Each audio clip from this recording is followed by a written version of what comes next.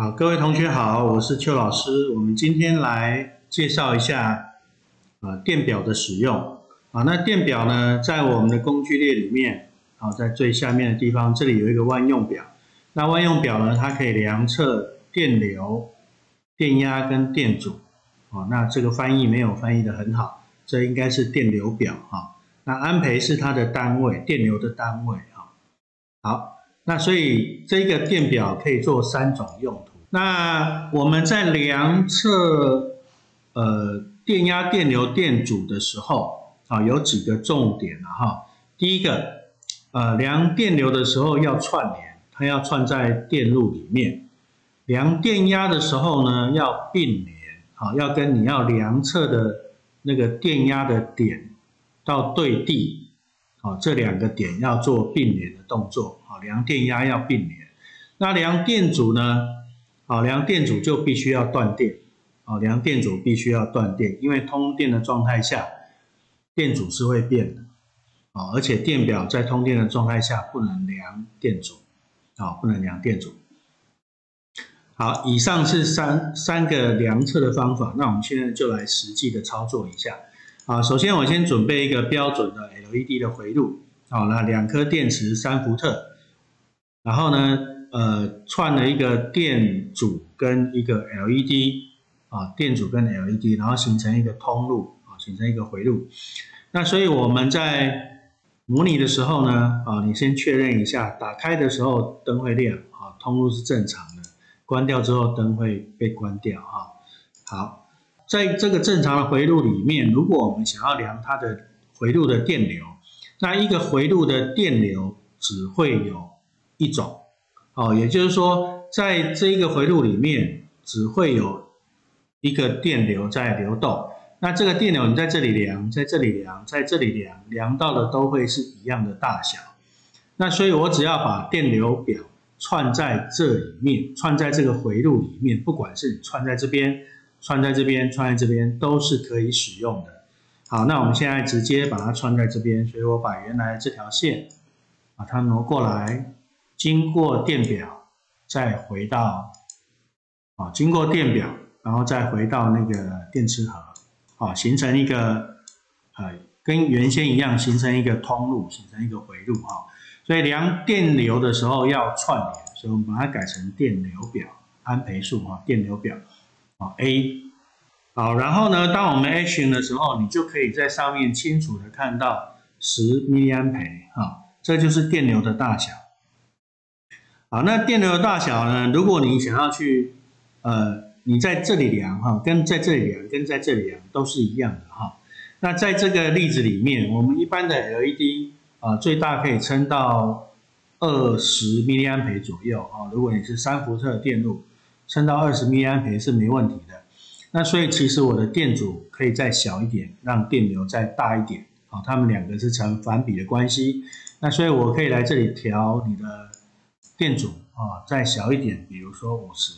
啊，就会越来越接近二十 m 安培哈。好，那所以这个是量电流的方式。好，我们通常会利用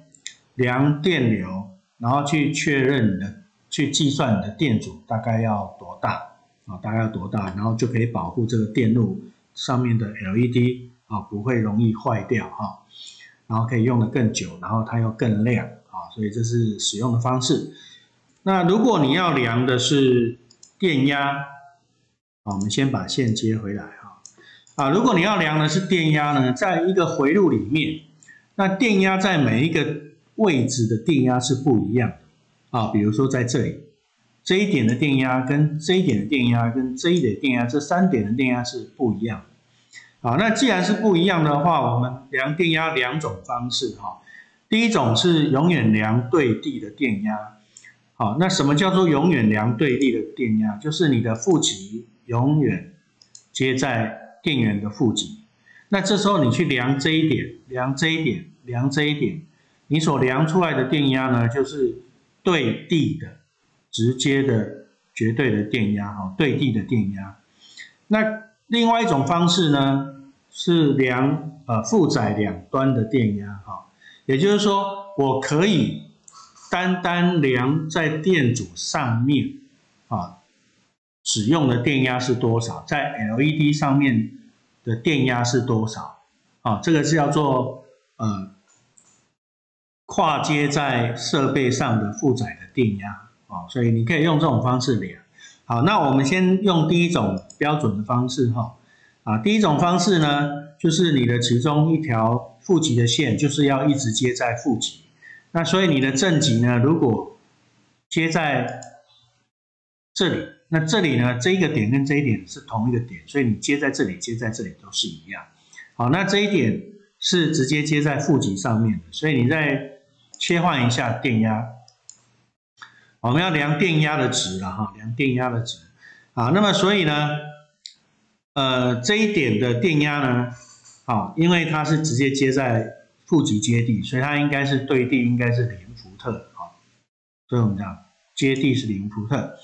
那这一点的电压呢，就是经过 LED 到接地啊，所以是等于是降在 LED 上面的电压，所以我把线挪过来啊，所以我们把这一条线呢接在 LED 的正极这边，那你量到的电压就会是经过 LED 再到负极跨接在 LED 上面的电压哈，那所以你 Action 之后啊，就会发现这个 LED 跨接在呃，跨接在 LED 上面的电压是二点零六伏特，所以这是这一点对地的电压啊，这一点对地的电压。好，那么如果你想量这一点呢，我们一样哈，把这一个探针啊，那个鳄鱼夹把它夹过来这边，好，那这里呢就是经过电阻经过 LED 对地，好，同时它是接在这个电池盒的正极，量到的应该会是三伏特左右。因为你的电源是三伏特，好，所以大概也是三伏特左右。好，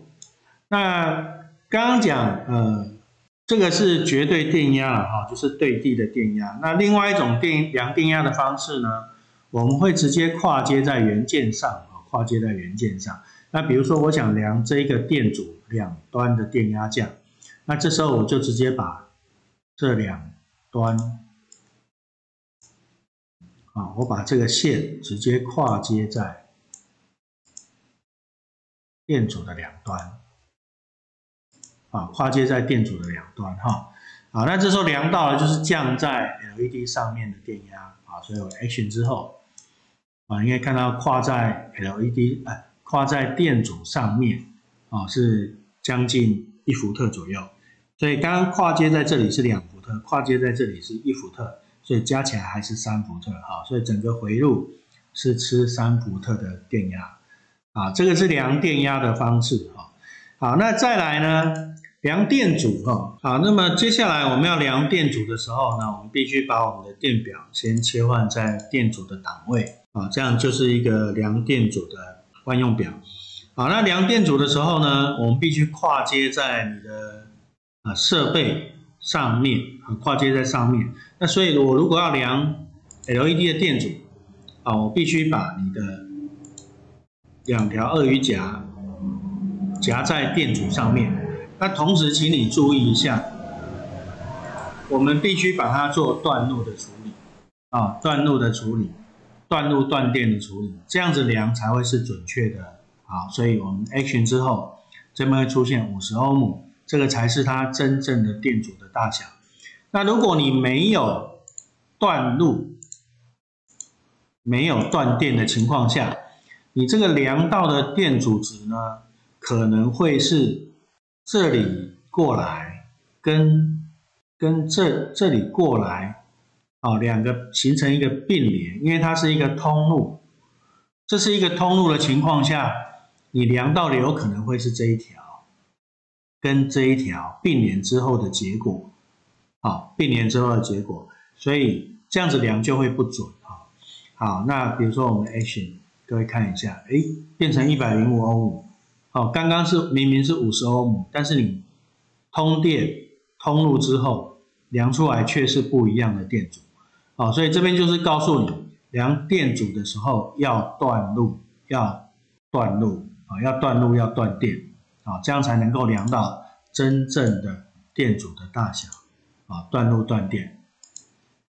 啊，这样才是真正的电阻的大小，哈。